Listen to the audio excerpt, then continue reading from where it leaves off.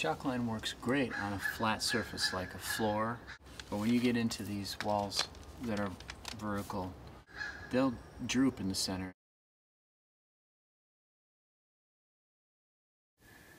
I really wanted to do a great job at getting that perfect line, no matter where it sits, it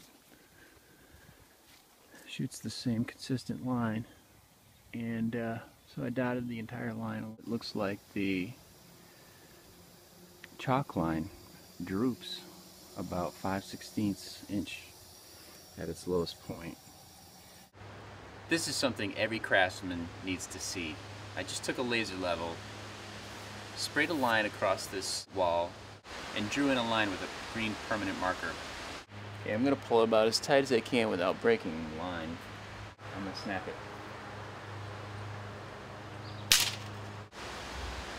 See here the chalk line is a good 3 16ths of an inch lower than the laser line.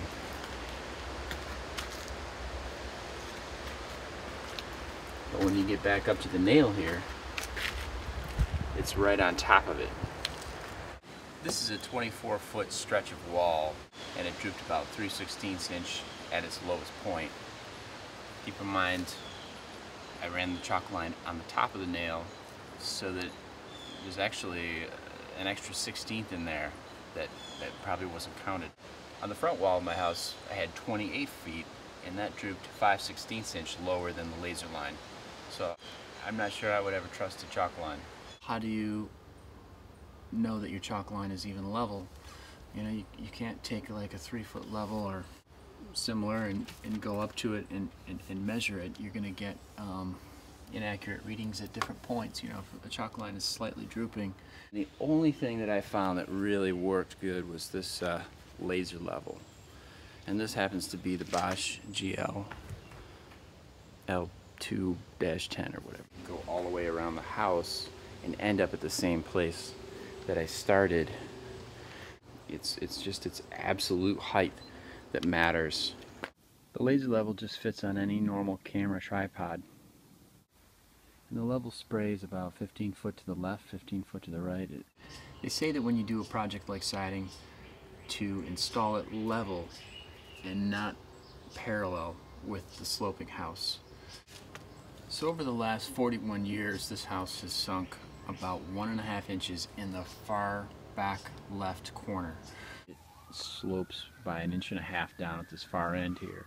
With the laser level here, I drew in these lines. But what I did uh, was I took my circular saw and, and just drew a green line two inches below wherever the level line was and cut off the T111 so there's just always going to be two inches all the way to the end. You know, trimmed off quite a bit using that circular saw. In a lot of places here, I don't know what I would do without this laser level. On this side of the patio door, the line is just above the nail fin right there.